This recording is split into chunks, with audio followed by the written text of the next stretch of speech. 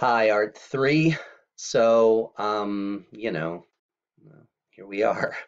Um, so this kind of happened a little bit sooner than we were planning for, uh, and that happened. So we are now fully remote, obviously, um, which leaves us uh, with a bit of a conundrum because a lot of you were probably planning to take things home to work on them um, during January when we were doing our uh, live synchronous instruction. So unfortunately, we weren't uh, really well prepared for this. But there are some, um, you know, there are some remedies, there are some things that we can do in order to fix all this. So here's what's going to happen. Um,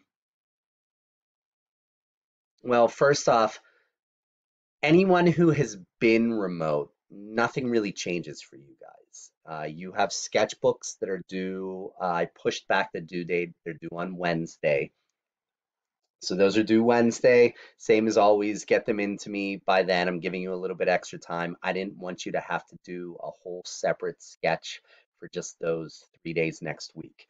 So the sketch for this week, I just gave you until you know Wednesday. So you have like a week and a half to do it. So get me those by Wednesday everyone else who was in person. Um, I, am not going to make you guys do a sketchbook here for these, you know, just a couple of days. You guys have all been working on things in class. So, um, you know, maybe some of you guys had the foresight to take stuff home with you. Um, I'm guessing most of you didn't, especially because a lot of you guys were working on things that, you know, required very uh, specific tools and supplies, um, you know, that you don't have at home. So I know some of you guys were like, you know, working on paintings or batiks or stuff that, you know, were very specific to the art room. So you probably didn't take that stuff home and that's fine. I, I didn't expect you to. Um, but that kind of leaves you guys in limbo. So here's what's going to happen you guys who are in person, um, you get an early Christmas break. You're just going to sit tight here uh, until January. Once January comes and we jump into that live synchronous learning, you're going to have a couple of options. You are going to be able to uh, jump into what everyone else is doing remotely, which we do weekly sketchbooks. So um, every week what happens is you do a drawing um, and you have the week to complete it. They're always due on Friday. Uh, and sometimes there are themes, sometimes there are drawing prompts, but essentially you're doing a drawing a week. So you do have that option. The other option, this is an option that I give to the remote students, is that if you want to work on something bigger, if you have something painting or whatever bigger drawing that you want to work on that's fine you can always work on that stuff. All you need to do is instead of sending me um, that weekly sketch just send me like a, a weekly progress pick on whatever it is that you're working on.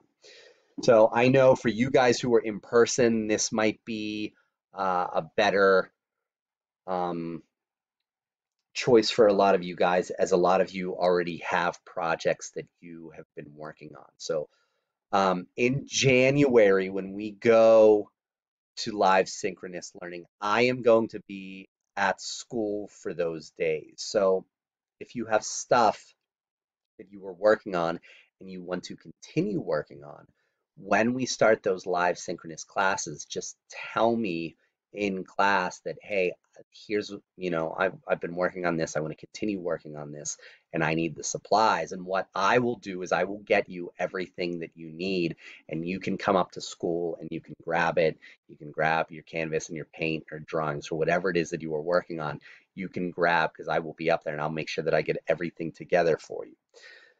And this goes for anyone who's remote. Again, you guys always have the choice. Um, those of you guys who have been remote, you don't have to do these sketchbooks drawing, these sketchbook drawings every week.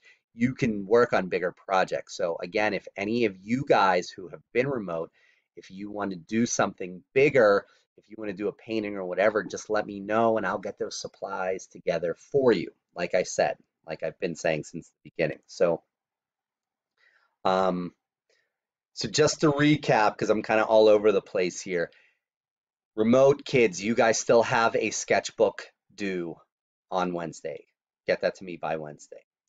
Anyone who is in person, you guys just kind of sit tight until we come back in January.